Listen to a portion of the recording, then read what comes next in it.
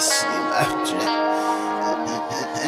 Bugün nasıl yapacağım? Bugün iş yapacağım. Bugün ne yapacağım? Bugün iş iş yapacağım. Let's get it. Hop off a 16 passenger. This a G5, no, this not a challenger. Big one. I keep some members with me in the fridge. Get coat seats, they some cannibals. Eaters. They like to geek geek.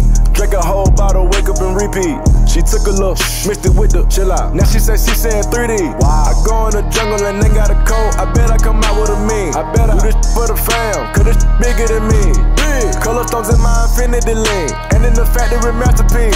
I call him twin, could that be my brother? We got the same roller, he matching. Good morning, Stallions. I'm Antonio, And I'm Justin. and we're here with your daily announcements. Today's weather is a high of 50 and a low of 32. Our word of the day is ornate, meaning highly detailed and decorated. For example, that ornate silverware must be worth thousands of dollars. May 12th, AP Government will be hosting a voter registration drive.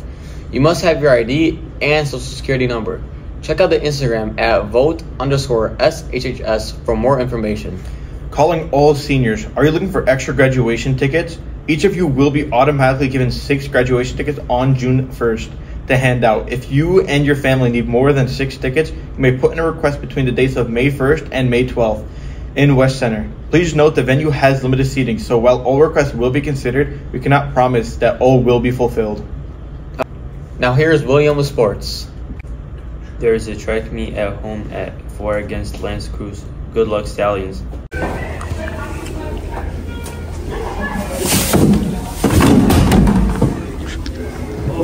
Because of you, the ice caps are melting, landfills are being overflown. Take this trash and just recycle it. he still came back. Recycle. out. That's, all for your Tuesday announcements. Have a great day.